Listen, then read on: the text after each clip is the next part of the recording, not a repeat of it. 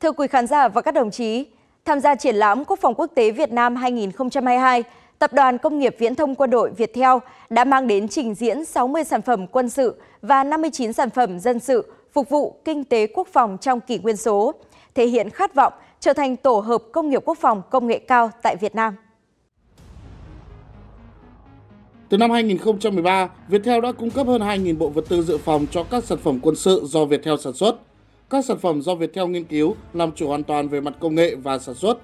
giúp công tác bảo đảm kỹ thuật được nhanh chóng, thuận tiện, chủ động. Mỗi năm, Viettel chi khoảng 4.000 tỷ đồng cho hoạt động nghiên cứu và là doanh nghiệp số 1 tại Việt Nam có khoản chi ngân sách cho lĩnh vực này. Quang điện tử là một sản phẩm tiêu biểu đáng chú ý của Viettel tham gia triển lãm Quốc phòng quốc tế Việt Nam 2022. Quang điện tử là sự kết hợp của áp dụng công nghệ tiên tiến và những đúc kết kinh nghiệm từ thực tế chiến trường. Về cái sản phẩm mà có tính hữu dụng cao thì cũng là cái sản phẩm mà đầu tiên của Viettel à, trang bị cho Bộ Quốc phòng, đó là thiết bị trinh sát hành nhiệt. Bởi vì cái thiết bị này thì khi triển khai thì đã được à, trang bị cho toàn bộ các cái đồn trạm biên phòng của ờ, bộ bộ đội biên phòng nó giúp ích rất nhiều trong cái việc là tuần tra đánh án à, chống xâm nhập biên giới đặc biệt là trong dịp covid thì nó cũng giúp cho việc mà ngăn chặn à, các cái tổ chốt phát hiện các cái đối tượng vượt biên trái phép rất là nhiều được ờ, bộ tư bộ đội bộ tư lệnh biên phòng đánh giá rất là cao và đây cũng là một sản phẩm thế mạnh của Viettel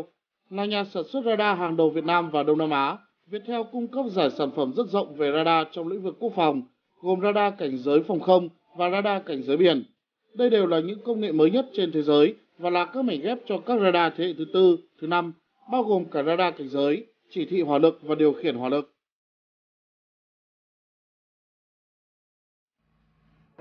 Một cái sản phẩm radar mới và hiện đại nhất của chúng tôi đấy là cái radar phòng không tầm trung băng tần S. Đây là radar 3D với công nghệ quét bút sóng điện tử. À, đây là một trong những công nghệ radar tiên tiến nhất ở trên thế giới hiện nay. Radar này thì quản lý vùng cự ly lên đến 360 km và quản lý được các mục tiêu bay đến trần độ cao là 30 km. À,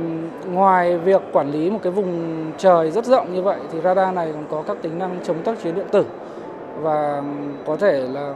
chống các cái nhiễu tiêu cực hoặc nhiễu tích cực do môi trường và do, do các cái phương tiện của địch gây ra. À, ngoài ra thì radar này được trang bị là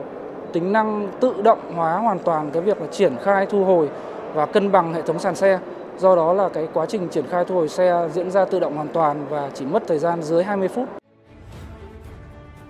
Kết hợp lưỡng dụng nhiệm vụ quân sự và dân sự, Viettel đã tối ưu những công nghệ kỹ thuật mới nhất, hiện đại nhất tạo ra những sản phẩm có tính dẫn dắt thị trường và cạnh tranh quốc tế.